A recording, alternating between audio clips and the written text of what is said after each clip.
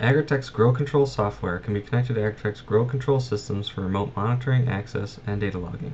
The software allows monitoring of all the sensors, all the I.O. or inputs and outputs, data logging to spreadsheet files, access to all control settings, alarms, as well as camera monitoring and image capturing.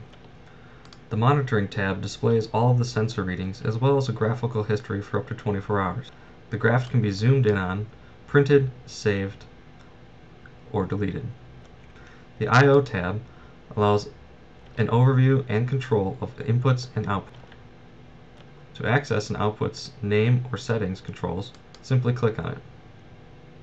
The output can be manually operated or renamed and also has an output cancel function. This allows the controller to cancel another output if this output is activated. This is useful for functions like turning off CO2 if ventilation is activated. Let's turn this output on. Press the on radio button and a dialog box will be displayed asking us if we're sure we want to turn it on. Let's press yes.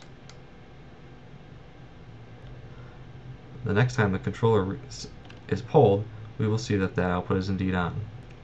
The Data Logging tab provides a preview of the data that's been logged to our spreadsheet file. Data can be logged in increments as little as 5 seconds and can be saved continuously to one long file, or new files can be generated each day. The current date, time, sensor readings, and input and output statuses are logged to the file. The Controls tab is an overview of which controls are activated as well as the control function settings. To access settings for a particular control, click on it To change the settings, simply modify the values and press check send the settings to the controller's memory. The Alarms tab provides an overview of all the different alarms and highlights those that are active. Just like the controls, the settings are accessed by clicking on a particular alarm button. The Cameras tab allows monitoring of up to 8 cameras.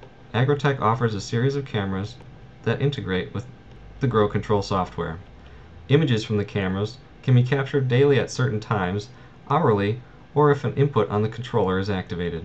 Additional control functions can be accessed via the controller menu. These functions include user passwords, date and time setting, system configuration set, sensor mapping, I.O. names and I.O. overrides to reset back to auto, controller name, and also clear settings functions. Additionally, the File menu allows all settings in the controller to be downloaded to a file by selecting Controller Settings File, Download from Controller. Pick a location to save your file and type a name. This file can then later be uploaded to the controller or another controller in order to mirror the settings.